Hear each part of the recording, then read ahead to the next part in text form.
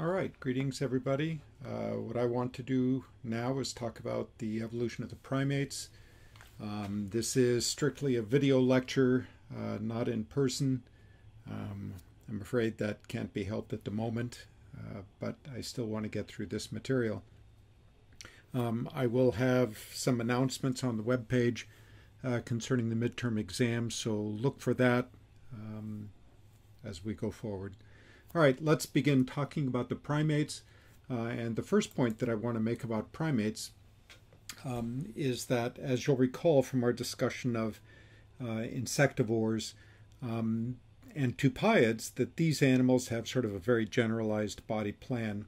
And the body plan is one that is geared towards arboreality. So all of the characteristics that we use to define the tupaiids and those early uh, insectivore types of animals apply here to the primates as well. Um, and what that means is that it is, uh, to some extent, difficult to sort of define what the unique uh, adaptations of the group are. But the morphological attributes that the primates have are primarily associated with some level of arboreality.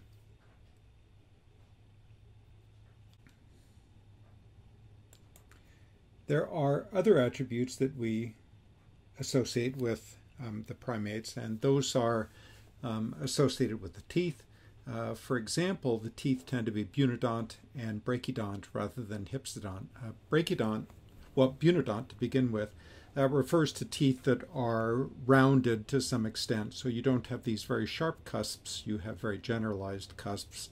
Uh, so rolling hills instead of craggy mountains.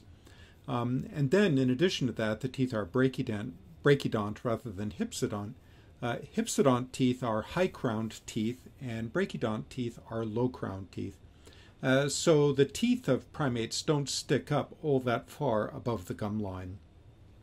Uh, importantly, uh, primates exhibit specializations of the hands and digits.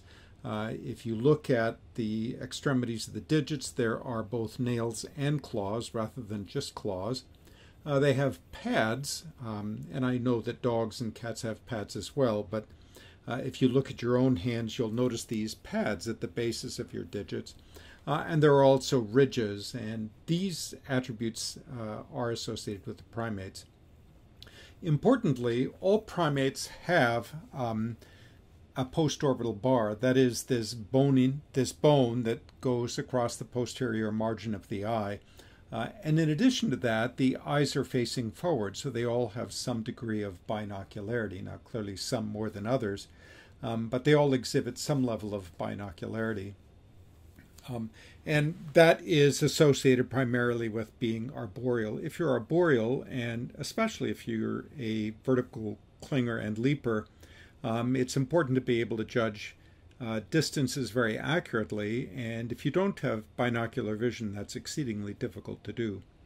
Uh, the next component of primates that is important is the fact that the cerebral cortex is much larger than it is in other uh, vertebrate groups.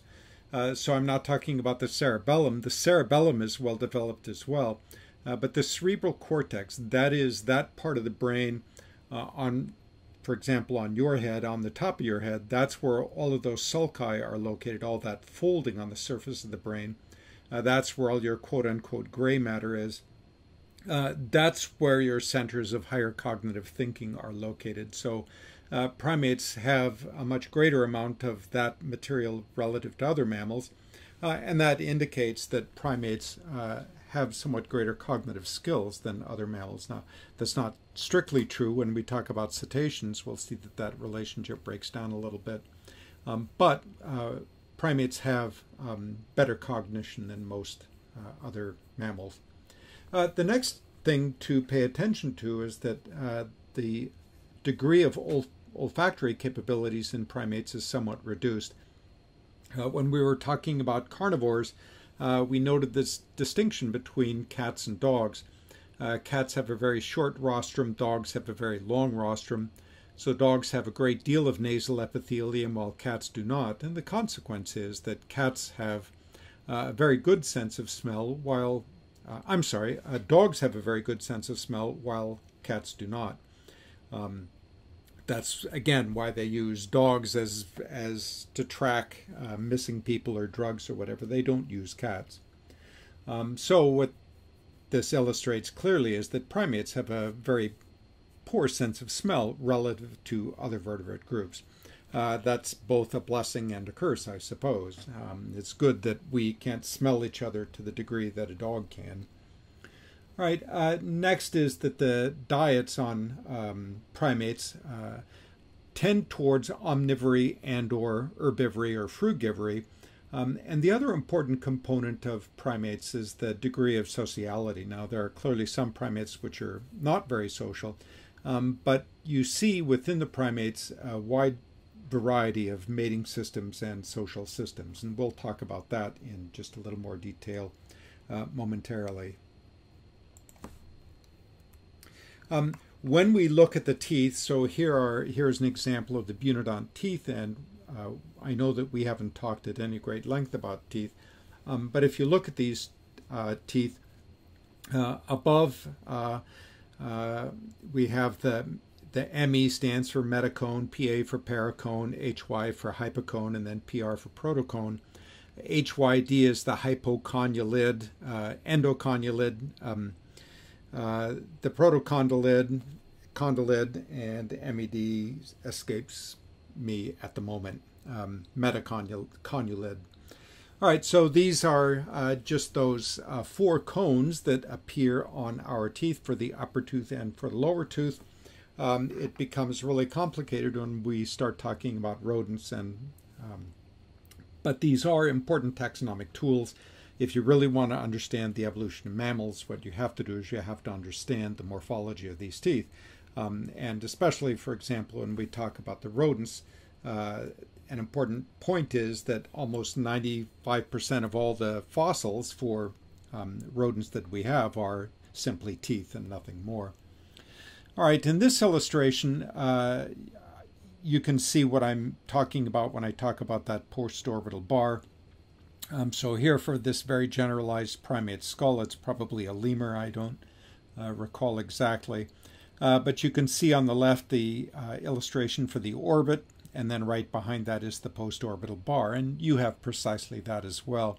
So that post-orbital bar, if you look at the illustration in the center, uh, arises up from the zygomatic arch and then goes up above the top of the skull. If you were to look at a skull for a squirrel, um, that postorbital bar would be incomplete. And for most mammals, that postorbital bar is incomplete. So there's a nice defining characteristic for a postorbital bar. If you pick up a skull that has a complete postorbital bar, then the thing that should cross your mind is that it's potentially a primate. All right, so let's now talk a little bit about um, primate evolution, and we right away run into an issue with how we um, classify the primates. Initially, primates were divided into prosimians and, and anthropoids, um, but when you do that, you end up with some very unnatural groups of primates. So we have a new system now. It's not that new, but uh, the system that we use today divides the primates instead into the groups strepsirrhines and haplorhines. So the haplorhines include the tarsiers and the simians. The strepsirrhines include the lemurs and the lorises. Now, you can look at this phylogenetic tree um, and you can sort of get a sense for uh, what we're talking about. Um, and there are a couple of other things that I want to point out to you here as well.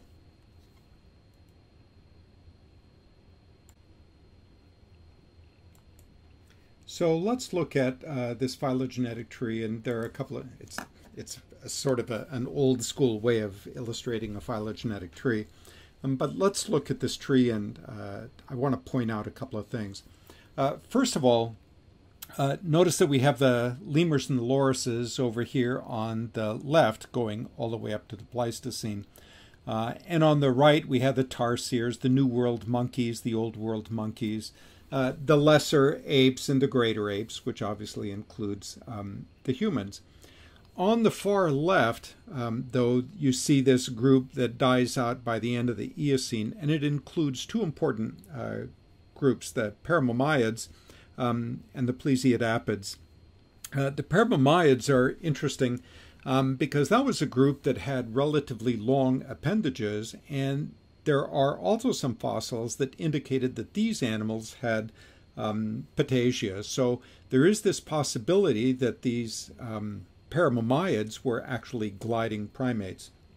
Uh, the reason that's interesting, if you'll recall our discussion of the um, colugos and the dermopterans, um, one of the ideas for the evolution of flight and flight is the fact that these uh, dermopterans, the colugos, are arboreal, um, much like a primate would be arboreal.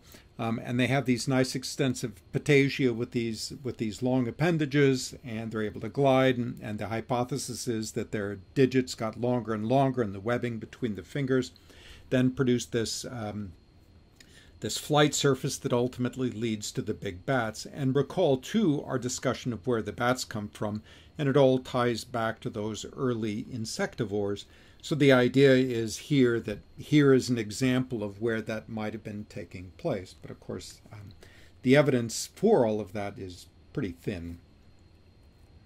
All right, so uh, the plesiadapids and the paromomyids, and we care about that simply because of their um, long appendages and the possibility, at least based on these fossils, uh, that they were gliding forms.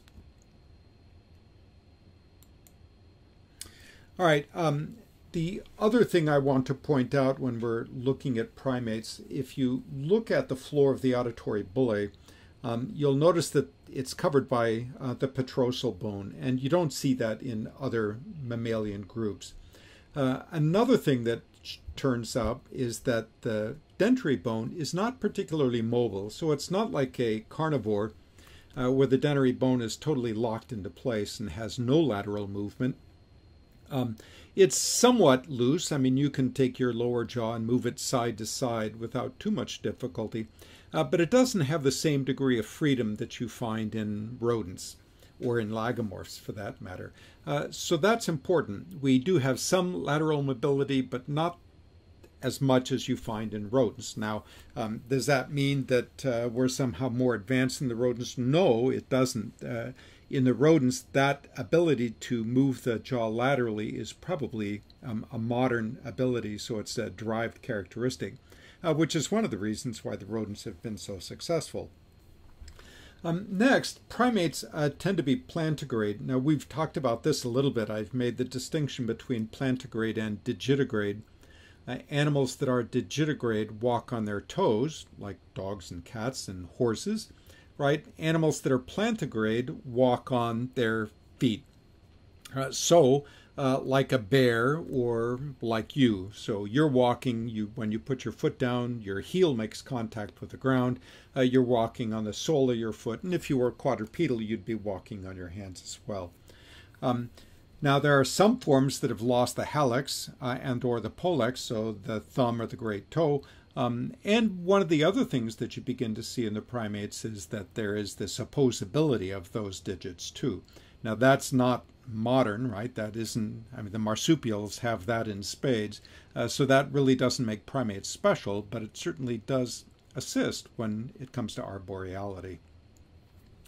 All right, so the earliest, earliest fossils of primates date back to the Cretaceous, so it's quite old, of Europe and North America. So that's important.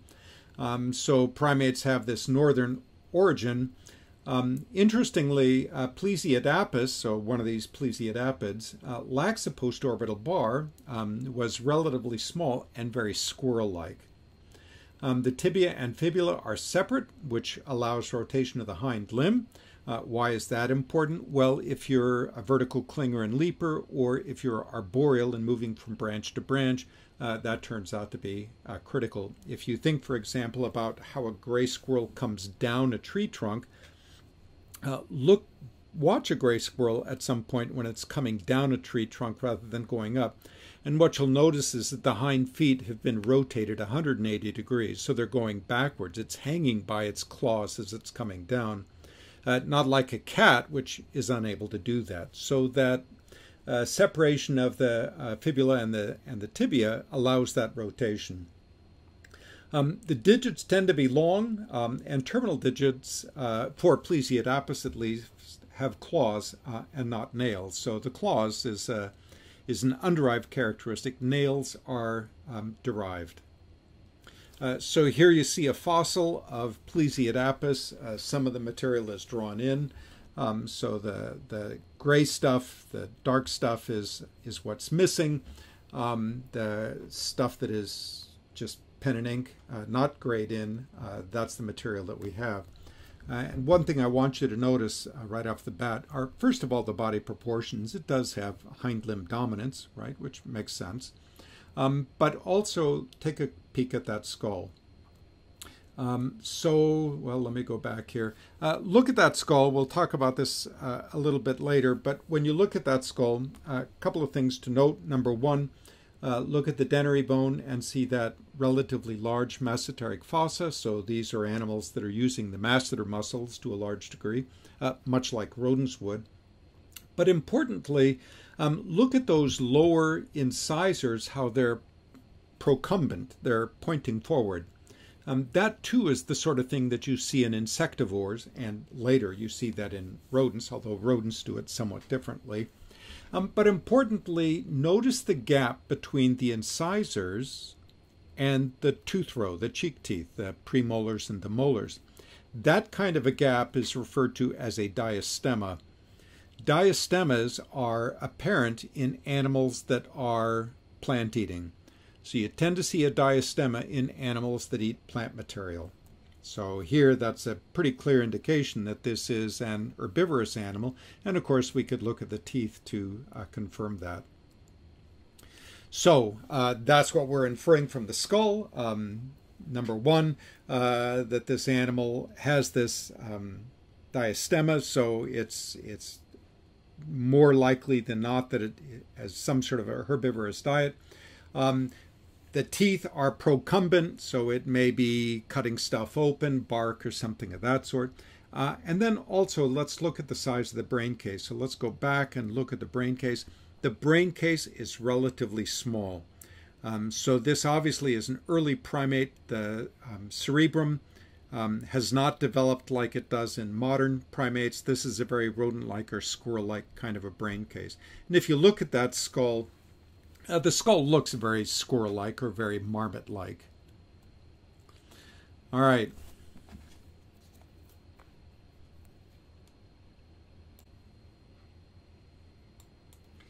Let's skip ahead just a little bit. Um, I want to forego a lot of that fossil um, material.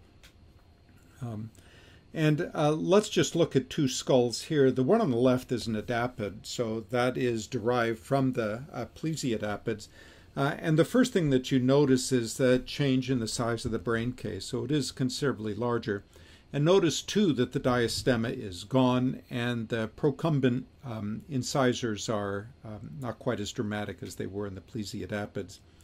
Um, the anaptomorphid on the right, Tetonius, if you look at that, that begins to look much more like a modern uh, primate skull. So the very large rounded brain case. Um, the teeth, especially at the front of the mouth, don't look very much like, for example, an ape or a great ape, something of that sort. But they aren't all that different from the sorts of teeth that you see in some of the other primates, and, and we'll go through some of those momentarily. Um, but here, both of these forms are much more primate like. And notice too that both of these have that complete postorbital bar. Um, so it seems pretty clear that these animals have good binocular vision, um, indicating that they are arboreal. All right, uh, so uh, when we're talking about the evolution of primates, uh, one important consideration is the fossil record. Uh, and uh, there, it's uh, important to have some sort of sense of the whole process of fossilization. Uh, just the fact that an animal dies uh, and ends up being covered up by dirt doesn't mean that it's going to turn into a fossil. Uh, becoming a fossil is actually a, a pretty rare event.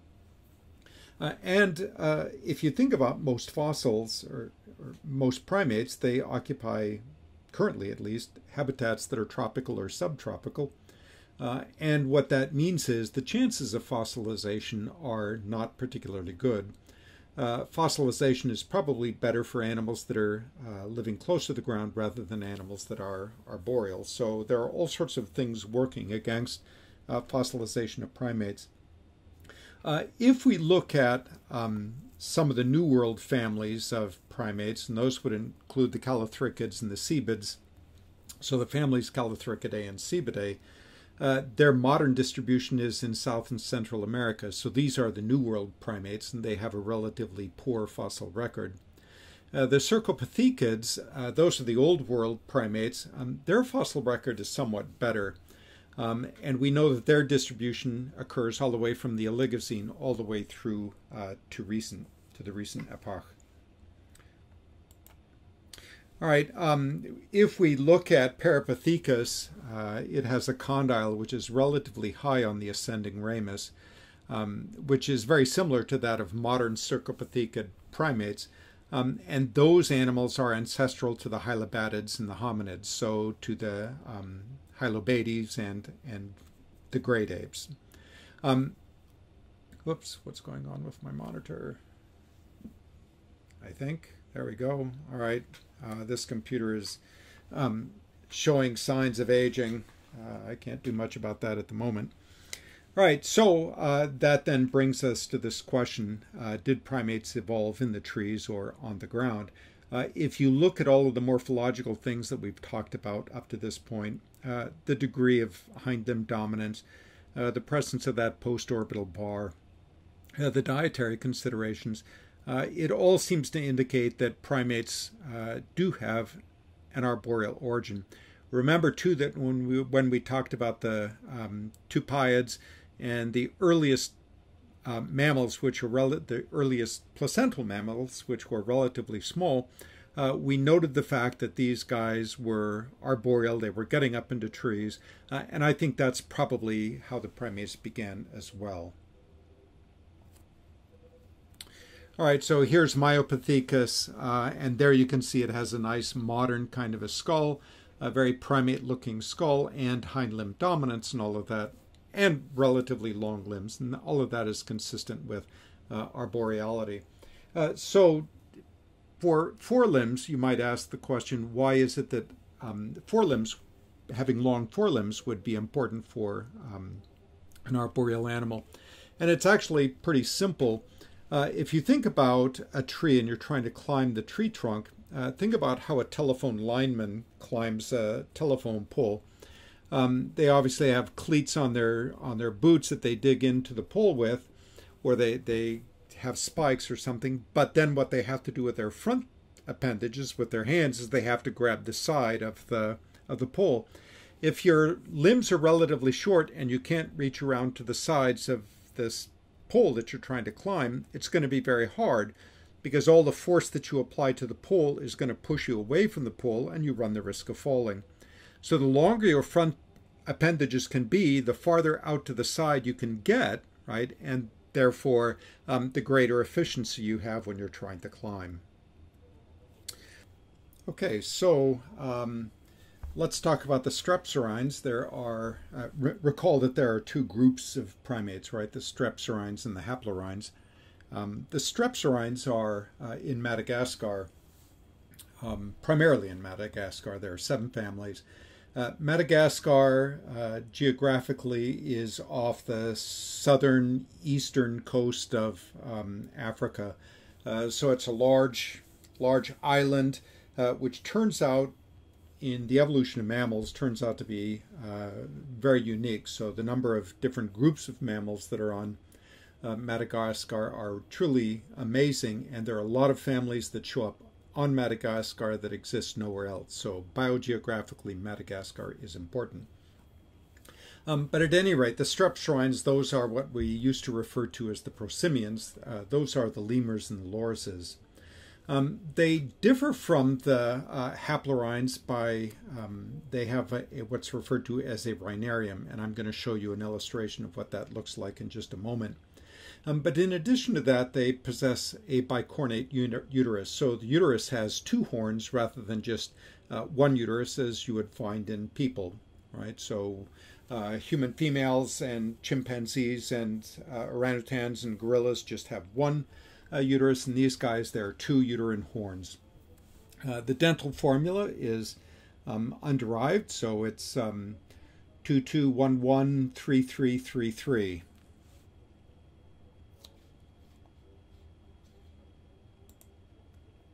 Um, the placenta is non-invasive uh, epitheliochorial, um, so what that means is it doesn't have the same degree of implantation that you find in um, in other sorts of, of uh, mammals. So it, it's more of a reptilian-like or or uh, marsupial-like placenta than it is like the placenta that uh, we typically think of when we think of a, um, a modern mammal. So there is not a lot of folding, uh, lot, not a lot of invagination uh, in that placenta.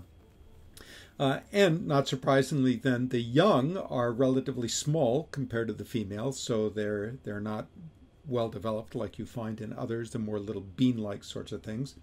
And all of those traits are plesiomorphic, so they are underived, and those are the characters that we use to unite the strepsirrhines.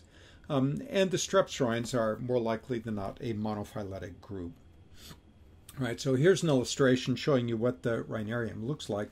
Uh, if you look at the illustration at the top, the front of the nose is naked. Okay, so there is no fur there. Um, in illustration um, uh, in the center, um, you see that the, the, the rhinarium or that nose is, is well furred. Um, in the top, it's not and you think to yourself, well, the front of my nose isn't furry, right? So I have a rhinarium, so that puts me in with these guys with the strepsirrhines. And no, that's not true. Uh, if you were to get out a magnifying glass and look very carefully at the surface of your nose, you'd find these little tiny hairs all over the all over your nose. Okay, it's just they're really small. Um, but in these guys, the nose is more like that of a dog or a cat, right, where there is no fur growing on that the tip of that nose between the two nostrils. All right, so here then uh, we can see how all of these different primates break down. Uh, the strepsirrhines on the left there, those include, include the lemurs, uh, which are from Madagascar, and then the lorises, which are African and Asian. Uh, they're small, nocturnal, um, things like bush babies and galagos and things of that sort. Uh, the haplorhines, uh, the group that you see on the right there, um, that includes the platyrrhines, uh, and the platyrrhines are sort of interesting because those are these South American primates where the the nares, the nostrils, actually point out to the sides.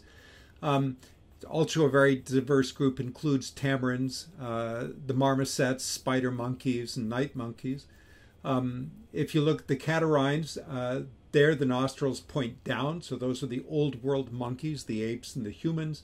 Um, and notice that um, we've sort of separated humans and apes, and that's probably not a, a, a true a representation of what's going on. It's politically correct, but it's not really what's going on. Uh, humans and apes should be united, so there's really no reason why uh, humans should be separated from gorillas and the chimpanzees. Um, the differences between humans and apes are trivial, um, and if it were not for political pressure from the from the religious right, uh, we would clearly be uh, grouped together with the apes. All right, so uh, here's an example of, uh, of a lemur. Um, there are lemurs at the St. Louis Zoo. Um, at the San Diego Zoo, they have representatives of all species of lemurs. Uh, and lemurs are important uh, in terms of our understanding of animal behavior and primate behavior in particular. Um, so these guys exhibit mating systems that are everything from monogamous to polygynous. Um, and in terms of uh, people that are trying to understand animal behavior, this is usually a good starting point.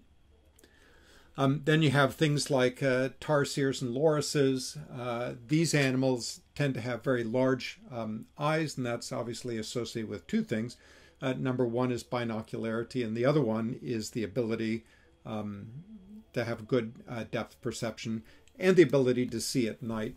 Uh, another thing that I want you draw your attention to is notice the opposability of the digits on both the hands and the feet.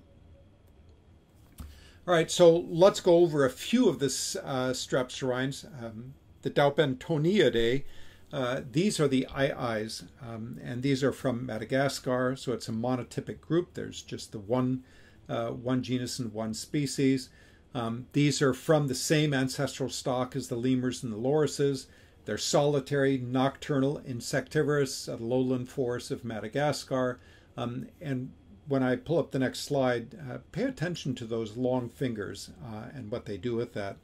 Um, these guys are almost extinct, um, and their their fate is uh, a consequence not only of the loss of climate or loss of uh, habitat, as a result of um, a very poor country uh, trying desperately to survive. If there's a lot of poverty, there's a lot of uh, subsistence agriculture. Uh, and what these poor people in Madagascar are doing is slash and burn agriculture. Well, they'll cut down a, uh, some forest and try and grow crops for a short period, and then that fails, and then they cut down a little more forest and so on. So the forests in Madagascar are disappearing at a phenomenal rate. Uh, the other aspect of um, unfortunate aspect for Aye-ayes is that the local the locals view them as evil, so they think they are evil spirits, uh, and they are actively trying to um, exterminate the Aye-ayes. Uh, if you look at the skull of an Aye-aye, uh, notice a couple of things. Uh, first, first of all, notice the incisors, both lower and upper, and notice the general shape of the skull. Uh, and the first thing that should come to your mind is a vampire bat. Um, so these teeth are designed sort of like for slicing. Um, it's very bat-like, with the exception, obviously, that it has big eyes and, and a post-orbital bar and binocular vision. So that's one important component to this. It's a very unique kind of dentition. Uh, and then if you look at this, notice that um, notice that very long third finger. Um, that what the animal does is it uses that finger to tap on uh, the side of a tree or a, a fallen log or something, uh, and it listens for the sound. So it's attempting to hear this sort of echo which is coming off from that sound, and it uses the quality of that sound to determine if there are insects that are infested uh, in that log or in that uh, snag. Uh, so it's part of their feeding strategy. Uh, and it is really cool if you ever get the opportunity to see one of these doing that tapping routine. It is very cool. Um, the other thing that uh, I want to draw your attention to there, you see the um, the hand on the left with that long, skinny finger, which is used for tapping, uh, and then you notice the um, the foot. Uh, you'll notice that the the um, the toe uh, has a nail. Everything else has claws. So the hand has all claws. On the foot, though, you've got nails and then a claw in addition to that. And it has both opposable great toes and opposable thumbs. Um, so if you're thinking about the cool thing about humans is that we have a, opposable thumbs, big deal, right? Lots of animals have opposable thumbs and opposable toes as well. So it's not all that special. All right, um, let's now look at the lorids. Um, those are the lorises and pottos. There are four genera and six species. They're uh, sub Saharan Africa, India, Southeast Asia, Indonesia, and the Philippines. Uh, they have these small flattened faces, which is probably all associated with arboreality, right? The eyes are going to be um, facing forward. And then the pollex is 180 degrees uh, offset from all of the other digits, so it's semi um, opposable. Uh, and you can see that here. Um, on the left, you see how um, that little, uh, the pollex down there at the bottom is just hanging down, right? So this whole hand, right, is in this really kind of weird sort of structure. Uh, notice the foot on the right and notice that everything has nails except for that second toe, right? There's this little claw on that thing. Uh, and you see that in a couple of other primates, and that's referred to as a toilet claw. Uh, so what the animal does is it uses that to groom itself um, after it's had a bowel movement. Well, if you're herbivorous and you're eating a lot of plant material, um, your fecal material is going to be very different, right? It's going to, it's just fundamentally going to be different, and they're using this to clean their fur and get all the goopy stuff out of their fur so they don't, they don't get rashes, I suppose. Um, at any rate, these lorises are um, uh, are either frugivorous and or insectivorous. Um, they can be either single or live in pairs. And the cool thing is that both vocalizations and facial expressions are important to these. More about that when we talk about the great apes. Uh, and they're also doing a lot of scent marking. So um, with these animals, there is both vocal communication, but there is also non vocal communication going on. And that too is something that turns out to be important for humans. All right, the galagos are the bush babies. Um, it was popular at one time in the United Kingdom uh, for rich kids to have uh, bush babies as pets. Um, they're called bush babies because uh, one of their vocalizations sounds like a crying baby. Um, these are vertical clingers and leapers, and if you want to see good examples of that, you can find uh, vertical clinging and leaping bush babies, galagos, uh, on YouTube. It's really cool. Um, they have they range in size from 60 grams all the way up to yeah, 1.2 kilos. Um, they are they are excellent when they're when they jump. Man, they just they follow that ballistics equation. It is really cool. So they have all these morphological ad adaptations designed for vertical clinging and leaping. You should watch some of those videos on YouTube. It's cool. All right, uh, here's another example of a small uh, bush baby. This is uh, um, a really tiny little guy. It's the smallest of them all, um, uh, both in terms of weight and in terms of head and body length. Uh, and it's also relatively underived, but it looks very, uh, almost not exactly mouse-like, but certainly smaller than a lemur and, and almost squirrel-like slash mouse-like slash um, shrew-like. All right, um, so galagos, they live in groups uh, that are up to nine animals or so. Um, they have facial expressions and they're using body posture and all of that sort of stuff. So it, it's uh, another interesting group uh, to explore in terms of um, the evolution of behavior. Uh, if you look at the teeth, um, the one thing I want to point out, uh, look at the cheek teeth. So those are the premolars and the molars. Uh, the tooth that is labeled PM, that is the first premolar. The tooth in front of that is the canine. So notice what these animals have done. Uh, typically, they have just two incisors, and here you have a third incisor added to each side, which is really nothing more than the canine tooth. Uh, so the canine tooth has become what's called um, incisiform, so it's been modified to be more like an incisor. So you might ask yourself, why would they do that? What is the selective advantage of adding a tooth to the incisor row? That's sort of a curious thing to ponder, and, and clearly it's something related to either diet or grooming.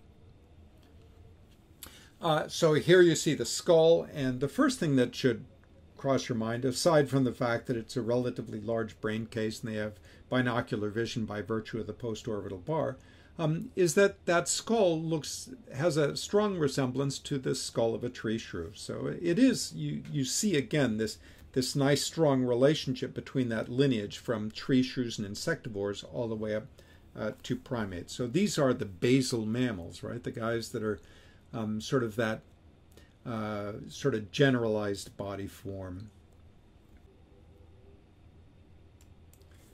All right, so let's um, talk about, uh, continue on with the strepsirrhines now and, and talk about um, the lemurs. Uh, there are four genera and 10 species, uh, so they're distributed in um, Madagascar only, nowhere else. Um, when are they active? Anytime. Uh, I mean, there are different species. Not every species is active at all hours, but uh, they can be diurnal, uh, which means active during the day, crepuscular, which means dawn and dusk. Um, they are arboreal. Um, some, some they will spend some time on the ground, and you certainly realize that when you go to the St. Louis Zoo and watch uh, the lemurs. They have a couple, different species there. Um, they differ from other strepsirrhines by the fact that they have relatively small eyes, and that's associated with uh, di, um, diurnality, uh, so being active during the day. Um, and the rostrum also tends to be a little bit smaller than it is in some of the other primates. Uh, they're frugivorous, they eat flowers, uh, they eat vegetation as well. Um, and if you'll think back to the skull that we just looked at, um, the lower incisors and canines are procumbent and form this uh, dental comb that they use for grooming. It's not just grooming themselves, but it's also allogrooming. Uh, allogrooming is a behavior uh, where you groom another animal um, or you groom. For example, if you were to groom another person, you might ask yourself, why would you do that? Well, a, a mother or a father might uh, brush the hair of their children. Um, if you're in a relationship with somebody, you might brush their hair. You know, I mean, those are all allo grooming sorts of things. Uh, allo grooming is important in terms of establishing social structure um, and uh, ensuring that relationships between individuals within the social system uh, are strong. So, allo grooming is one of the things that we look for uh, when we're trying to understand the evolution of animal behavior. Um, amongst the lemurs, they all have ear tufts, so little tufts of fur sticking up off the tops of the ears. Why that should be advantageous, I have no idea. Um, it would be something worth exploring. Um, there are uh, eulemur um, has sexual dichromatism, so uh, males and females are different colors, which is unusual um, in primates. Um, all of them use uh, leaping and clinging uh, forms of locomotion, uh, with the exception of the um, the ringtail lemur. Um, the ringtail lemur is quadrupedal and climbs, so it's not a vertical clinger and leaper. Um, the social groups range in size up to 20 animals, and again, they use scent marking, urine marking. Uh, they have sternal glands, uh, so that's right on top of the, the sternum. Uh, cutaneous arm glands, so glands in their armpits. Um, they use all of that to communicate, just as humans use those same sorts of things for communication. Uh, the fact that you stink underneath your armpits, that is pheromonal information that uh, members of the opposite sex use to evaluate your um, receptiveness. Um, in addition to that, they use uh, vocal communication, but they also use posture and facial communication. So there is nonverbal or non-vocal communication taking place in these animals as well. Um, the Megaladapidae, those are the sportive lemurs. Um, they're nocturnal and arboreal. Um, they eat leaves, bark, fruit, and flowers. They are vertical clingers and leapers, um, and they're solitary. There's some scent and urine marking. Um, they do have extensive vocal communication, uh, but they don't have the sort of complicated social systems that you find in the other lemurs. Uh, the Cheirogaleidae, uh, those are the dwarf and mouse lemurs. Uh, there are four genera and seven species. All of them are in Madagascar. Um, they have good binocularity. The eyes are large, face forward. Um, they're both arboreal and nocturnal. Um, their their uh, locomotor form is more squirrel-like than anything else, although Microcebus is a leaper. Uh, Microcebus is an insectivore, um, but can also eat fruit. These guys are solitary or paired. Um, and again, just like the other lemur, lemurs, they use posture, facial communication, vocal communication, um, but to a lesser degree than what you find in the other strepsirrhines. Uh, the indrids, uh, there are three genera and five species. Again, all of them in Madagascar, all of them nocturnal, and all of them arboreal. Um, that includes a group uh, of primates that look a lot like me. So if you think about what I look like um, with this bald head that's really red when you come in out of the sun, right? That's what these guys look like. Look for a primate that has this bald red head, and you're looking at a sifaka. Okay. Um, these guys eat leaves, fruit, flowers, and bark. They're also vertical clingers and leapers, um, and they also have hind limb dominance. Uh, they live in groups, small groups, and they use scent marking, facial uh, communication, uh, and to some degree vocal communication as well. Um, here's an indrid. Um, these are good vertical clingers and leapers. Um, look at the hands of these guys. So A is a lemur. Um, B is a sifaka. Uh, so um, the C is the aye-aye, and then uh, D is the Potto, or the it's a lord. Okay, um, so there you see, particularly when you look at uh, D, there you see that toilet claw, and when you look at the I, the thing to pay attention to is that finger, that very skinny finger that they use for tapping um, snags. Let's move on to the second group of primates now.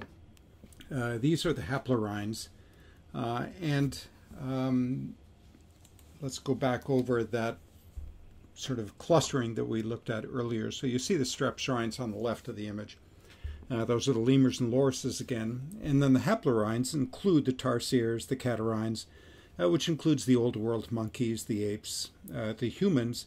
Uh, also in there are the platyrrhines, and that includes the uh, the cebids and the and the uh. So uh, what we want to do now is just simply go through some of these major groups of the of the haplorhines. Uh, one important thing to remember is that all of these uh, haplorhines have a hemochorial placenta. So uh, that's the typical sort of uh, eutherian mammal placenta that has a lot of surface area, a lot of invagination with the uterine wall, uh, and provides for a lot of transfer of nutrients and gases across the across the placenta. Also, all of these now have a postorbital plate, so um, they have good binocular vision. Um, let's begin with the tarsiids. Uh, there's a single genus that has five species. These are Indonesia, Malaysia, uh, and the Philippines. Uh, the fossils come from North America and Europe. And the cool thing about the tarsiers is that they have this extreme ability to rotate the head. Uh, so it's not like uh, um, The Exorcist, uh, the film The Exorcist, where the young girl turns her head, uh, you know, 360 degrees, but they are able to turn it uh, quite some distance. Um, this includes uh, vertical clingers and leapers. They are both nocturnal and crepuscular, so not any diurnal forms. they eat insects, lizards, spiders. if it moves, they'll take it, basically. so here's a nice example of a Bornean tarsier. Um, so you can see that it would be um, have good nocturnal vision, binocular vision, and obviously because of the proportions, also uh, a good vertical clinger and leaper. Um, interestingly, uh, these animals form pair bonds, uh, and these pair bonds last for quite some time, and the pair bonds are territorial. Um, they produce a single precocial young, um, so um, it's more uh, human like, I suppose, than you would expect to see in other sorts of uh, mammal groups. Uh, let's look at the foot morphology um, of these animals. Uh, on the far left, you see the foot of a lemur. Uh, on the far right, you see the foot of a gorilla. And in the middle, you see the foot of a tarsier. and obviously, um, if you look at those proportions, the base of the foot, so the calcaneus and the astragalus, are quite long uh, and that's exactly what you would expect to see in an animal that's lengthening the foot, and that clearly is something that's uh, affiliated with vertical clinging and leaping, particularly with the leaping portion of all of this. Um, then let's uh, let's go back and compare the skull of a strepsirrhine, uh, namely Galago, with that of a haplorhine, uh, Tarsius, uh, and notice the size of the orbit. so these animals have exceptionally large eyes, and Clearly, uh, that's related to nocturnality. So, not only binocularity, but also uh, this ability to see in the night. Uh, you'll notice the same sort of pattern when you look at rodents. Uh, nocturnal rodents tend to have very large eyes, and that's all about light gathering. Uh, the bigger the aperture, the more light you can capture, and obviously, the greater the visual acuity. Um, again, look at the teeth on Galago, which is the strepsirrhine, uh, those spatulate uh, canine or rather the uh, incisiform canine. Um, in tarsiers, most of those incisors are going to be spatulate instead. So uh, the basic bunodont, um, uh, brachydont dentition remains, but those incisors are now going to be uh, fundamentally different. Um, let's switch now and look at uh, the first group of wor- New World monkeys, and these are um, monkeys in the family Cebidae. Um, lots of different genera, so 11 genera, lots of different species, 58 species. These are animals that are going to be uh, in Central America and South America. Um, the obvious forms are howler monkeys, capuchins, spider monkeys, uh, sakis, uh, uakaris, and then woolly monkeys. Um, howler monkeys, uh, there used to be a pair of howler monkeys at the um, at the St. Louis Zoo in the in the primate house. Uh, they're long since gone, but it was really cool to go in and watch those howler monkeys, uh, especially when they would begin to vocalize. Uh, they have these big gular sacs that they involve in their vocalizations, and it's pretty impressive to hear these guys. Uh, you should spend some time on YouTube and, and look at some videos of howler monkeys howling. Uh, one sad note uh, my pro- major professor, when I was a um, uh, master student in California was James Dale Smith, and when he was a PhD student at the University of Kansas, he was on a collecting trip uh, in Central America. I think they were in Nicaragua. uh, and he collected 3,000 howler monkeys on one collecting trip, uh, which in my view is a uh, extreme, excessive sort of thing to do. I don't think anybody should have the right to collect 3,000 of any one species. Um, but he took great pleasure in describing uh, how howler monkeys died uh, because he obviously shot them. Um, he took great pleasure in that. Um, he was just an odd individual in so many different ways. At any rate, um, the cebids are primarily herbivorous and frugivorous, um, but there are some of the smaller forms that are eating insects and small mammals as well. Um, so here's an owl monkey, uh, which is a cebid. Um, and uh, what you'll notice uh, with these guys um, is that oftentimes males will carry um, the infants, so there is a lot of sharing of parental duties in, uh, in primates. Um, these are black-capped um, capuchin monkeys. Uh, there, we have some of those at the St. Louis Zoo. You should spend some time the next time you're at the zoo going into that primate house uh, and watching these. Uh, another thing that I want to point out here, um, notice what these animals are doing with their tails. Uh, so New World uh, monkeys, both the cebids and the um, callitrichids, have prehensile tails. Uh, the Old World monkeys do not. Uh, so one of the ways you can tell the difference between a New World and an Old World monkey is on the basis of whether the tail is prehensile or not. Uh, prehensile tails occur only in the New World. They are not there uh, in the in the Old World monkey. So in the cercopithecid monkeys, they do not have a prehensile tail. Uh, and you might ask yourself, why is that? Uh, why would prehensile tails not evolve in the Old World, only in the New World? Uh, and the answer to that, I think, uh, lies with the actual physical structure of the habitat. Uh, and I think if you look at the distribution of lianas, that is vines, uh, in the New World versus the Old World, I think you'll find your answer. All right, so um, these four, there within the Cebidae, there are four genera um, that have prehensile tails. Um, most also have prehensile hands. Um, but the thumb is only sort of pseudo opposable, so it's not fully opposable like it is uh, with us. Um, Aotus and um, um, both form monogamous groups, while all the others are polygamous. Uh, and when I say polygamous, what I really mean is polygynous.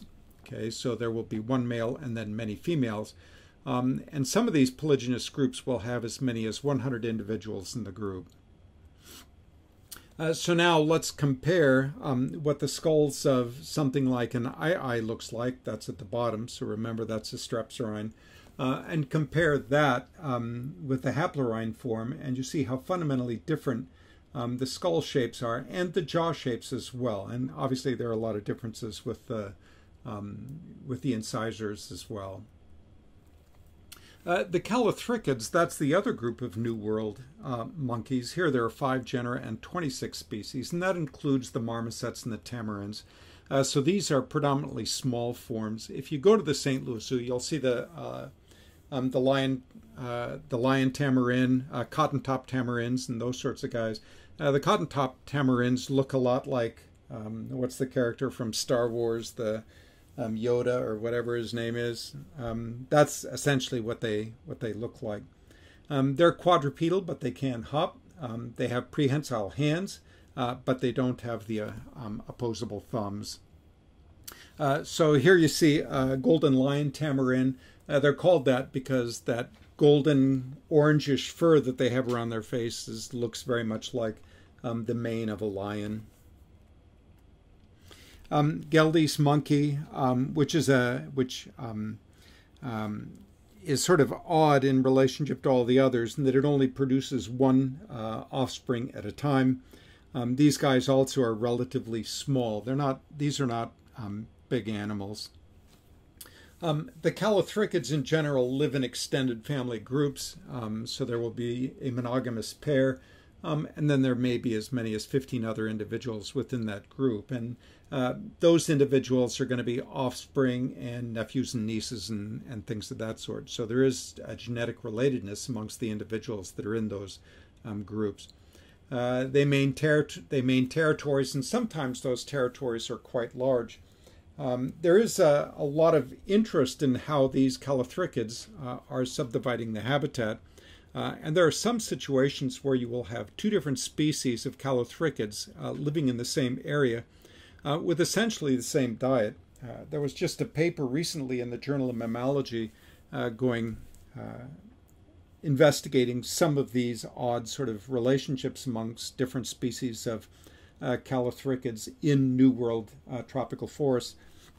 And what they discovered was that when there are two different species occupying the same habitat, um, although they may be eating the same uh, food items, there's one species that is going to occupy a different layer within the forest than the other. So uh, one will for, will forage primarily in the upper canopy, and the other will forage uh, primarily on the ground or in the middle canopy. All right, um, so that's something to pay attention to. Um, it is sort of a, an interest ecological um, thing that's going on. Um, all right, so uh, as before, there's uh, communication is via olfaction, vision, um, and uh, pheromones via urine and so on. Um, if we look at uh, a marmoset versus an aye-aye, uh, you could see that uh, the teeth are primarily different, size of the eyes are different, and so on. Um, but notice with the, the marmoset how large the brain case is relative to the overall skull. So we're talking about animals that have um, a lot of uh, cognitive capacity compared to other sorts of mammals. Uh, and then you can also uh, begin looking at the feet. So here's our feet from a tarsier, uh, a marmoset, a spider monkey, and then the gorilla in the lower right. And again, remember a big thing about um, primates is what's going on with the hands um, and the feet. Uh, boy, where where did we see that before? We saw that with the marsupials. So structure of hands uh, and feet uh, is generally related to locomotion, uh, your ability to manipulate things, your ability to get around in the habitat. That's true for marsupials, and that's certainly true for primates as well. Uh, now, the Cercopithecids are the old world monkeys. Um, and here there are 18 genera and 81 species, and these are uh, Africa and Asia, and in the Malay uh, Malay um, archipelago. Um, in general, uh, males have large canines, um, and females have these um, ischial tuberosities, these uh, perineal uh, swellings. Um, and the other thing that's going on with these is what's happening in terms of the color patterns that you see on the faces. Uh, it turns out that in these animals, um, the nonverbal communication turn, is, is really important. Um, I want to say something about those uh, swellings, so let me go ahead here um, and show you that. Here's a, a slide um, which um, are a couple of macaques. Um, and there's the male sitting down. The male is, is larger than is the female. Uh, and the female has these ischial tuberosities. Uh, for a number of years, they had a um, uh, some baboons in in the primate house at the St. Louis Zoo. They're no longer there. I don't know what became of those animals. Um, but there was a single dominant male in that polygynous group, and he would sit there with his back to the to the window, and he was obviously the largest animal in the um, in that troop. And then there were a number of females that had these ischial tuberosities, these swellings on their butts, and those ischial tuberosities become inflamed. And if you're just uh, you know visiting the zoo and you see that, the first thought that crosses your mind is that this is some sort of raging infection or something. It's not. Um, as the hormones cycle in these females, those things swell up and they become very red and bright and just very large and turgid. Um, and the females will parade in front of the male and present themselves to the male.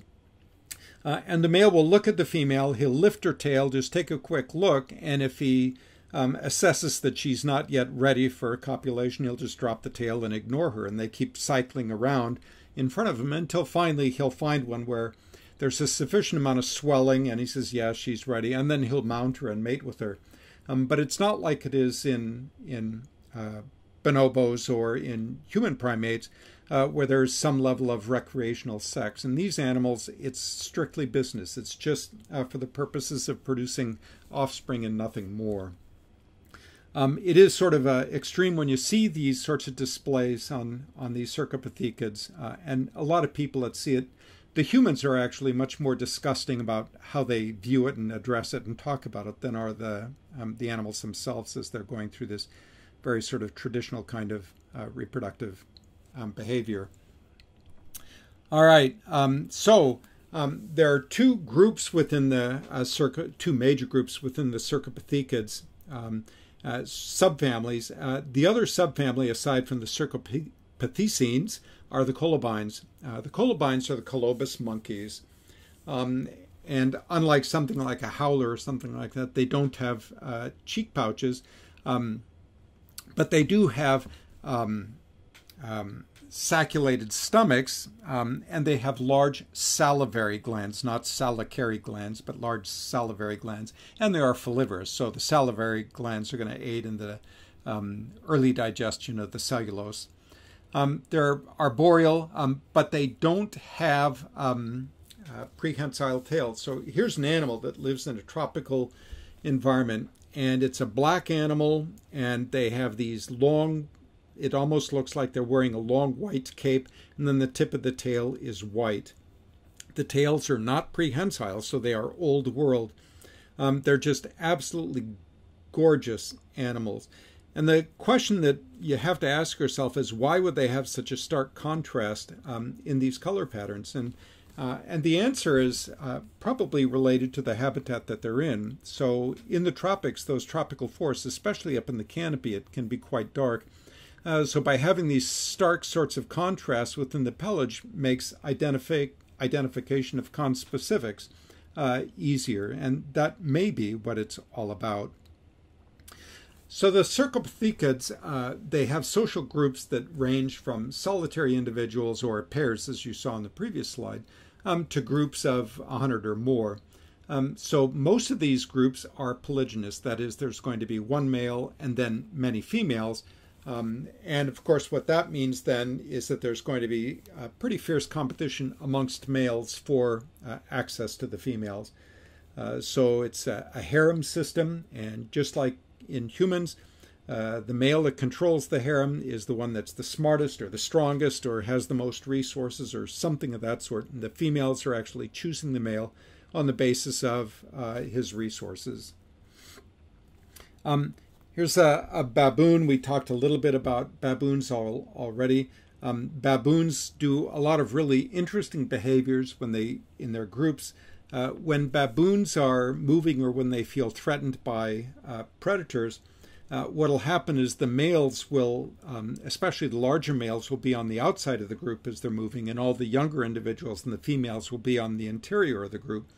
Uh, and there's some wonderful footage in um, uh, video footage, and you can find it on YouTube, where um, one of these uh, baboons will be attacked by um, uh, by a leopard, and it's really cool. Um, it's really cool to watch because at some point this baboon is going to turn and face the cat and bear its canines and open its mouth and just vocalize, and it catches the attention of that cat and Oftentimes, the cat will back off, realizing how extensive these canines are and how much damage could be done to the cat if it tries to take down the baboon. Uh, so it's they're pretty impressive animals. All right, uh, the hylobatids. Um, there are. Um, um, uh, this is one of the two families of apes. The two families of apes are the hylobatids and then the hominids. Uh, we are in the hominids. Um, the hylobatids um, probably should, well, they should be relate, uh, lumped in with the um, with the other apes. Uh, and I indicated earlier the reason they're not is uh, just because of the outrage that you would get from the uh, religious right about, you know, or from the anti-evolution crowd uh, about how this isn't possible and how humans are somehow special and so on. Um, but uh, hylobatids in every other way uh, really do belong with um, the humans and the orangutans and the gorillas and the bonobos and the other chimps. Um, so there's one genus of uh, hylobatids and then 11 different species. All right, uh, let's just uh, very quickly sort of summarize uh, what's going on here with, uh, with our definitions of, of primates. Um, and notice what happens in this uh, phylogeny. Um, you see that PMS, that's sort of the base of this, of this cladogram. And the first branch that comes off, uh, those are the insectivores. And remember, we talked about insectivores and things of that sort. uh, and the tree shrews and the tupaiids and all of, of, that kind of stuff. So the insectivores are the, the sort of primordial mammal. And then coming off next are going to be the elephant shrews. Uh, you saw the little video clip of the elephant shrew from the zoo in Helsinki, Finland.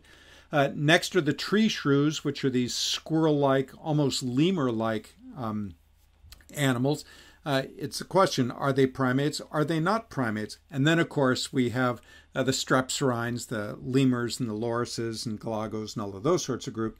And then come the tarsiers, the New World monkeys, the Old World monkeys, and, and then the apes. So just keep that phylogeny uh, in mind. You realize that, you know, it's the grades and clades argument. So, what really is a primate? Where do you draw the line for primates? Should the primates include the elephant shrews, the tree shrews? Um, where do you draw that line? Should the uh, strepsirrhines be included with the rest of the primates? Um, it's all just terminology, right? All right, so back to the hylobatids. Um, these are Asian and, and the Malay um, archipelago. Um, these are the gibbons and the siamangs. Um, and the cool thing about all the hylobatids is that these facial features are set off with fur. Uh, so these are true brachiators with opposable thumbs and forelimbs. They're arboreal folivores, they're frugivores. Um, but the big deal about, aside from the form of locomotion, the big deal about these guys is the fact that their facial features are um, are illustrated, are marked off, are highlighted uh, by patterns of fur and coloration, just as in some of the um, some of the um, What that tells you at these is that these guys are using nonverbal, non-vocal communication, just as we do. Uh, if you've uh, lived with a person for a long time, you can tell by that person's facial expression what kind of mood they're in right? You can generally tell by looking at a person if they're happy or sad or angry or whatever. That's all nonverbal communication, and that is present in these hylobatids in spades. Uh, so here at the top you see a, a, galago, a vertical clinging and leaping. Below that is a is a terrestrial quadru- quadrupedal um, uh, baboon. Below that is a is a siamang, which is you know a brachiator, a vertical clinger and leaper, and then at the bottom is um, hominid, right? So something that's uh, bipedal.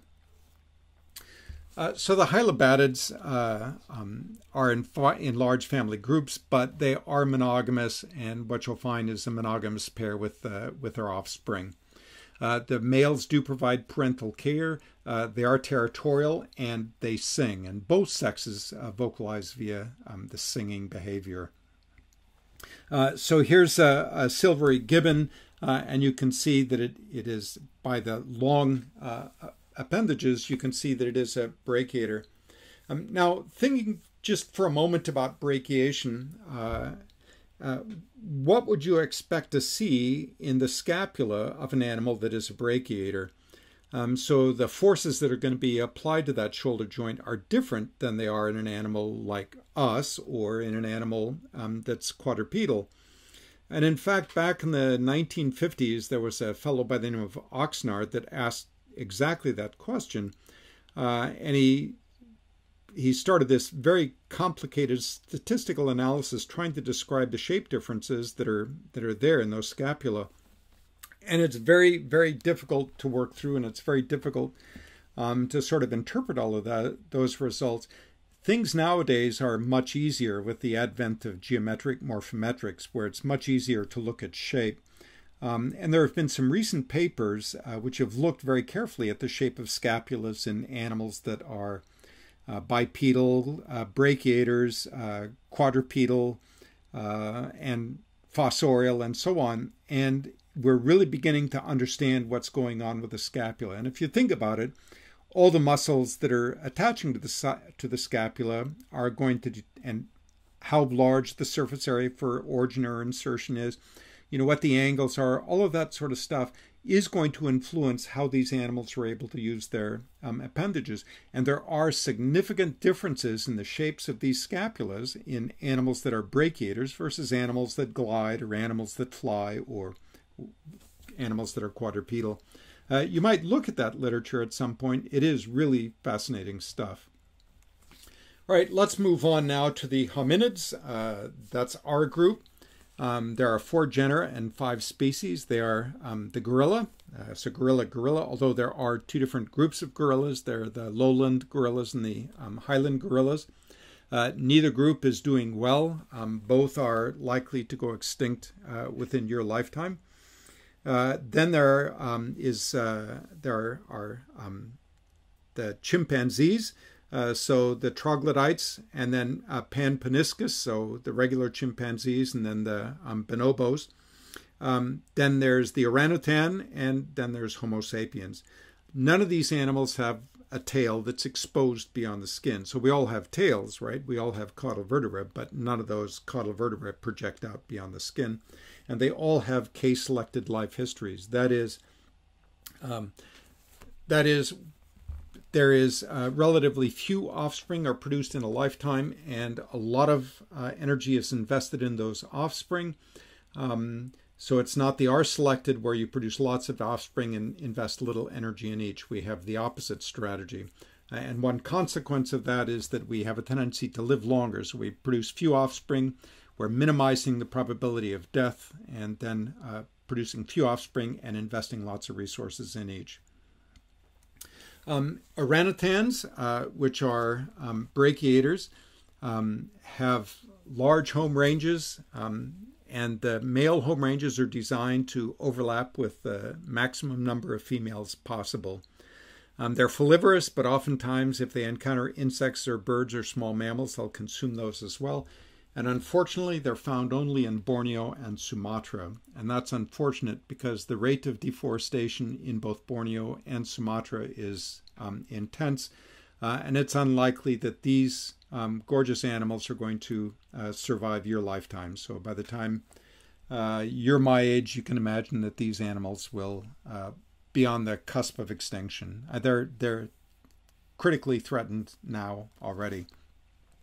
Uh, chimpanzees are in Central Africa. Um, they are sexually dimorphic, with um, males being larger. Um, they do consume meat. At least Pan troglodytes consumes meat. Um, they live in groups of uh, 12 to 100 for Pan troglodytes, um, troglodytes, troglodytes, and then smaller groups for the bonobo chimpanzees. Uh, speaking of, of chimpanzees, um, just uh, a few points that I, I want to make out. Um, the chimpanzees are the group that are um, our closest relatives. So if you were to look at a phylogenetic tree, uh, chimpanzees and humans are close we have a common ancestor with them. Um, and in, in that regard, you can uh, imagine that you would expect to see lots of behaviors, uh, particularly in bonobos, that you also find in, in humans. Uh, one of the interesting things that you find in bonobos is both um, some degree of, of recreational sex and also some degree of homosexuality amongst the males. Um, and what ends up happening is that the males are using copulatory behavior uh, in an effort to they practice that copulatory behavior with one another before attempting to mate with females. Um, so uh, in humans, that same sort of behavior is is there, right? Copulatory behavior amongst males. Um, and the only reason I point that out is because that that sort of behavioral jump from that sort of behavior to true homosexuality or whatever isn't that big of a jump. We shouldn't be surprised to see those sorts of behaviors in humans. It's not it's not um, what some people would have you believe that it's aberrant or evil or anything of that sort. It is just another human behavior. That's all.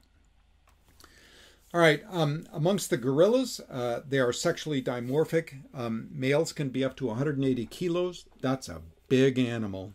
Um, uh, they are in the tropical rainforests of East Africa and West Africa. Um, they are both folivorous and frugivorous.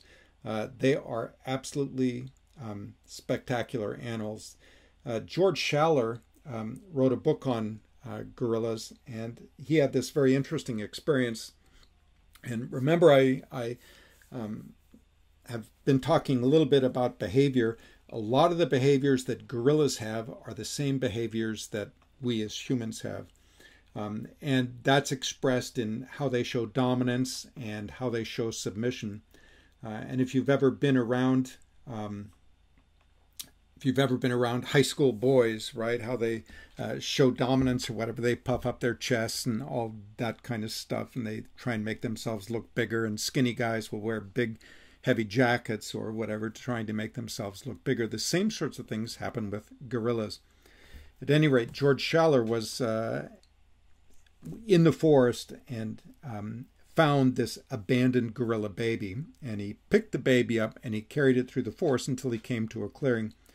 And across this clearing, he could see this, this group of gorillas. And the silverback, the dominant male, saw George Schaller and saw that George Schaller was holding this baby gorilla, and it was obviously this gorilla's offspring. So this gorilla comes charging across this meadow right at George Schaller, and George Schaller just stood his ground and just waited for the the big silverback male to mow him down basically. And right before the silverback male came, right right before he was on top of George Schaller, George Schaller bowed, he put his head down, so he broke eye contact, eye contact, held the baby out in his arms. The gorilla stopped picked up the baby, turned, and walked away. In order to do that, I mean, any normal person would have peed in their pants by that point, but George Schaller understood enough about primate behavior and gorilla behavior to realize that's all that was required. If you ever, if you're a male and you're going around the, the mall when there are a bunch of, you know, teenage boys walking around, uh, you can do the same sort of little experiment uh, when you encounter some teenage boys as a male, it doesn't work if you're a female. All you have to do is make eye contact with one of the males. If the other male that you're making eye contact with is smaller than you, he will look away, look down, somehow try to break contact and minimize the chance that he's going to get beat up. If he's bigger than you, he's not going to look away. He's going to maintain eye contact and attempt to assert his physical dominance over you and it's very difficult under those circumstances to look away right? And you'll notice what his posture is right? His hands are going to clench up his elbows are going to bend and he's ready to beat the snot out of you or something. Those are exactly the sorts of behaviors that you would see in gorillas. So the difference between the behaviors of humans and gorillas are not great at all. All right, so we indicated that there were two populations of gorillas the West African forms, which have relatively small groups, um, they're frugivorous and frugivorous, and then the East African gorillas, which are frugivorous um, and have larger groups that will have uh, just a single silverback male, so that's the dominant male.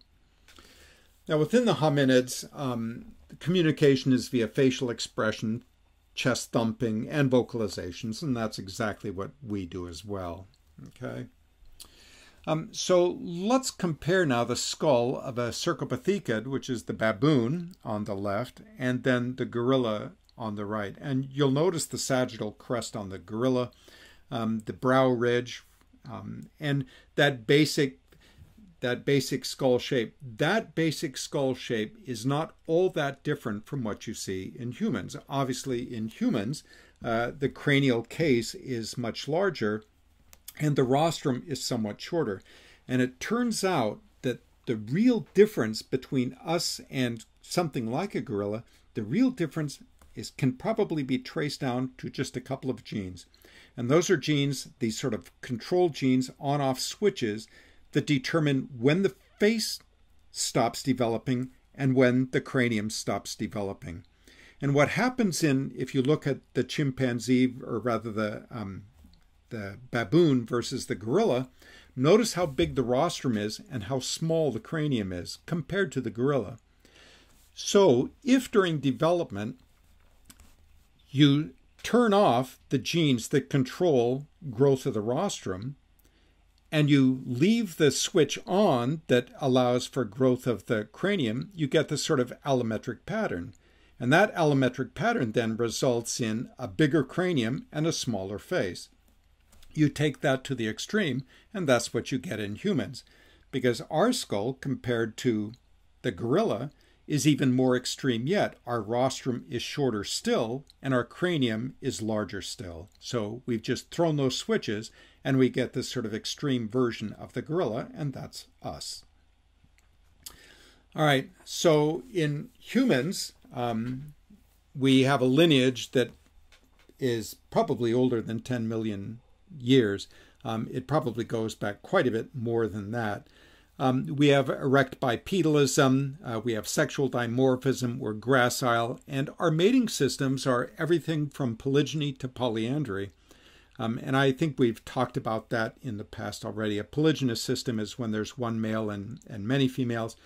Uh, we have that now in the U.S. That's what the Mormons do. That's what you know King Abdullah of Saudi Arabia does. Right. That's what uh, Saddam Hussein did. That's what um, all those guys are doing in in the Middle East. Okay. Um, polyandrous is when there's one female and many males. We have that too. In general, those are um, systems that, for example, uh, prostitutes, female prostitutes, would be in a polyandrous system where she's the um, dominant female, and then all of her customers are uh, the many males. Uh, then, of course, in addition to that, communication is complex in us, but it's complex in chimps and gorillas as well. If you look at sort of the lineage for um, human primates, uh, with uh, Homo sapiens up there at the uh, the upper right, uh, don't worry about all the names and all the different groups. Pay attention, though, to what's going on to the shape of the skull. Uh, and the key thing is notice what happens to the size of the rostrum and notice what happens to the size of the cranium. That's exactly the same trajectory that you see in that transition from something like a baboon to a gorilla. We're just at the extreme end of that. So there's nothing really all that special about us other than we have this disproportionately large skull. Is that an ad, is that an advantage? Well, it possibly is, but so far that hasn't been demonstrated. Well, you might argue that we are the dominant species on the planet, and that is likely true, although um, the coronavirus has simply challenged us in that regard. Um, and of course, cockroaches do quite well too, as do many other insects. Um, the the issue isn't settled because we have not yet demonstrated that we're going to get through this, uh, the current uh, mass extinction event that we're in, right? There is no guarantee that we get through that mass extinction event. And clearly, as demonstrated in this last uh, presidential election, um, our ability to think critically and really to evaluate evidence and things of that sort is somewhat suspect, right?